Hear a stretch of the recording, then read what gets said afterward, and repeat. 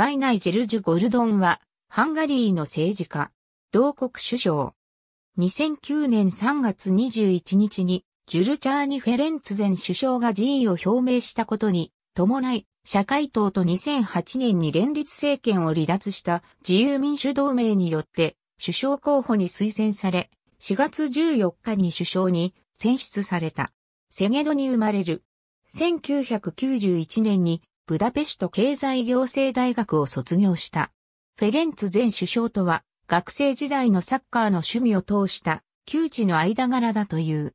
修士号を取得した後は金融コンサルタントとなり、1993年にはロンドンの欧州復興開発銀行に派遣されている。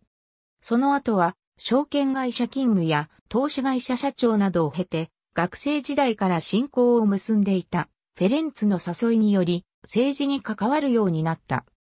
2006年7月1日に国家開発庁開発政策政府コミッショナーに就任したのを皮切りに2007年7月1日には地方自治体地域開発大臣2008年5月1日には国家開発経済大臣を務めるなど、政府の要職を歴任したが、一貫して無所属を貫いた。